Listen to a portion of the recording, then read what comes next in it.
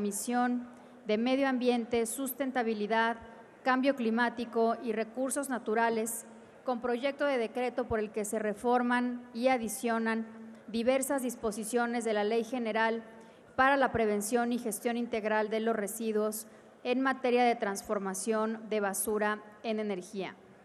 Tiene la palabra por cinco minutos el diputado Roberto Antonio Rubio Montejo para fundamentar el dictamen de conformidad con el artículo 104, numeral 1, fracción segunda del reglamento.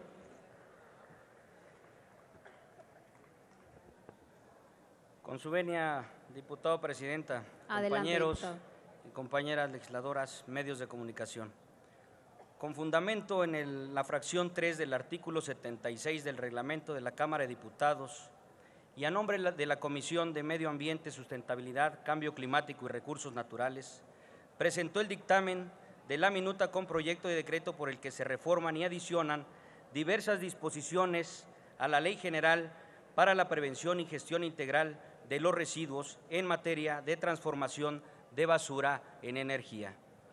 Dicha reforma fue aprobada por unanimidad en la comisión y su objetivo principal es otorgar facultades a los municipios para aprovechar los residuos sólidos urbanos en procesos de generación en energía. Uno de los aspectos de la gestión ambiental es relativo a los residuos cuyos problemas asociados se han incrementado en las décadas recientes debido al, gran crecimiento de la población, el desarrollo industrial, los patrones de producción y consumo, pero sobre todo la indiferencia y la falta de una concientización ciudadana sobre el manejo integral, desde su generación hasta su disposición final. La Ley General para la Prevención y Gestión Integral de los Residuos distribuye competencias entre los tres órdenes de gobierno, de tal suerte que establece un catálogo de atribuciones a cargo de la Federación, las entidades federativas y los municipios. En el caso de los gobiernos municipales, las atribuciones asignadas son en materia de residuos sólidos urbanos. Por ello, la iniciativa que se dictamina propone reformar el artículo 7 de la ley a efecto de facultar al gobierno federal para expedir la norma oficial mexicana relativa a los requisitos para el aprovechamiento de los residuos sólidos urbanos en procesos de generación de energía.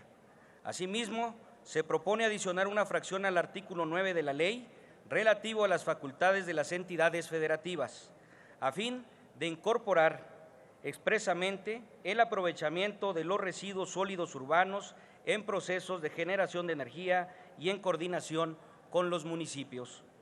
Finalmente, quiero destacar los siguientes datos oficiales de Semarnat.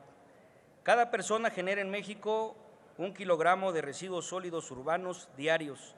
Asimismo, el INEGI calcula que el costo de la degradación ambiental por los residuos sólidos solo en el 2017 fue de 70.970 millones de pesos.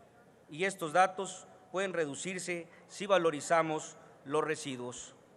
Por lo anterior, y a nombre de la Comisión de Medio Ambiente, Sustentabilidad, Cambio Climático y Recursos Naturales, solicito el voto a favor de los diputados y diputadas de este Pleno, a fin de seguir promoviendo la valorización de los residuos y su disposición final segura.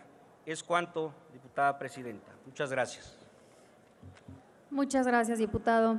Tiene la